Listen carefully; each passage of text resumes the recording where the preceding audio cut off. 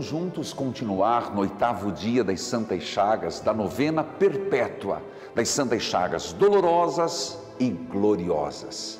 Filhos queridos, quantas bênçãos Deus reserva para aqueles que nele esperam. Qual a sua intenção? Não mude, permaneça. É o oitavo dia da novena. Vamos juntos rezar na presença de Jesus Eucarístico, nas suas santas chagas dolorosas e gloriosas, o oitavo dia da novena.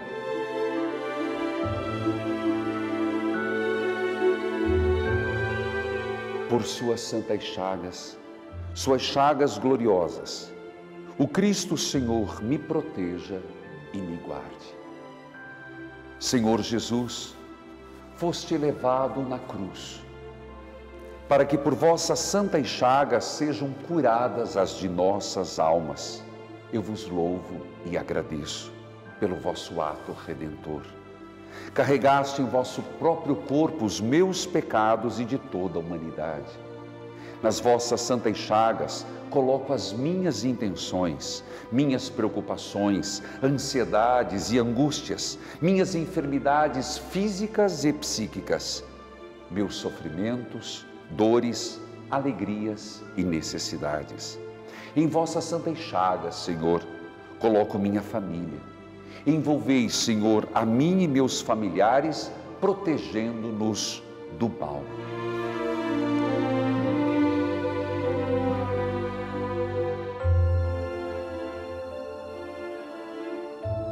Senhor, ao mostrar vossas santas chagas gloriosas a Tomé, e o mandando tocar em vosso lado aberto, o curaste da incredulidade.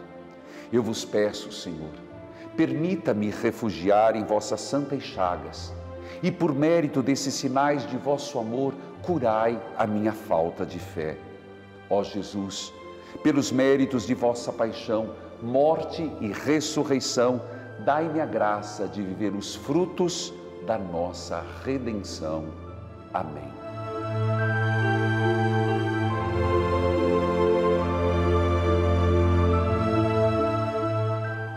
Quero fazer um desafio para você.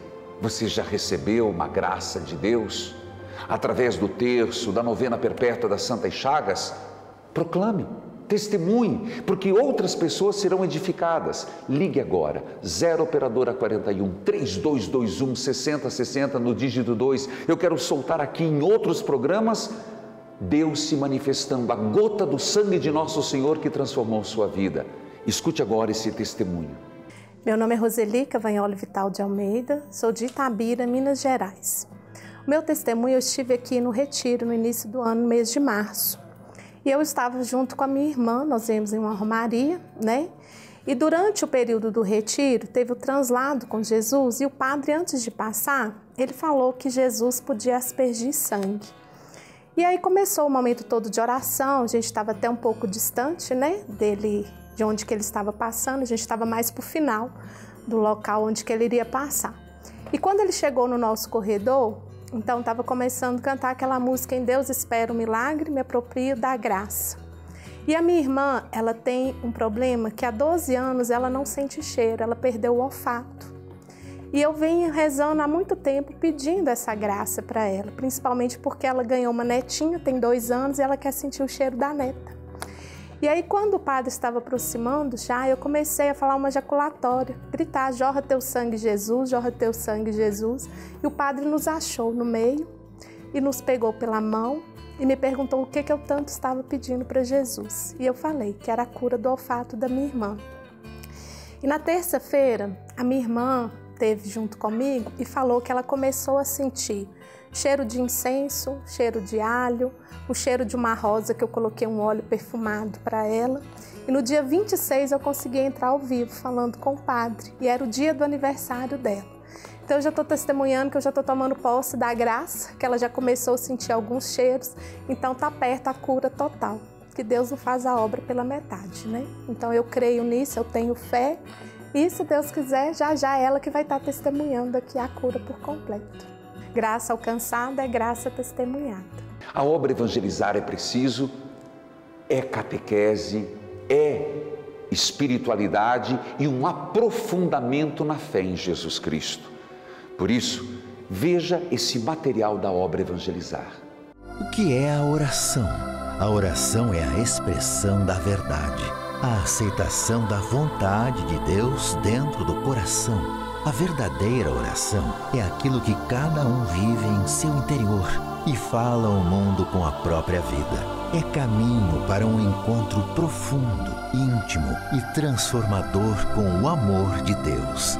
Para pedir, para agradecer, a TV Evangelizar reza com você. E eu os convido agora à bênção final, a bênção do lar. O Senhor esteja convosco, Ele está no meio de nós. Que a divina bênção vos acompanhe que o Espírito Santo ilumine os vossos pensamentos. Que o seu poder age em toda parte.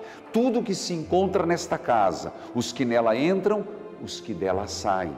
Que Jesus, nas suas santas chagas, vos abençoe e vos preserve do mal, para que nenhuma desgraça se aproxime de vós.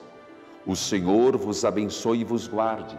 Que Ele faça seu rosto brilhar sobre vós que ele se compadeça de vós e vos dê a paz. Em nome do Pai, do Filho e do Espírito Santo. Amém. Queridos filhos e filhas, neste oitavo dia da novena, a certeza de que nossa hora vai chegar é grande. E o Senhor que prometeu, cumpre as suas promessas. Por isso, eu espero você amanhã, no nono dia da novena das Santas Chagas de Nosso Senhor. Não perca, espero por você.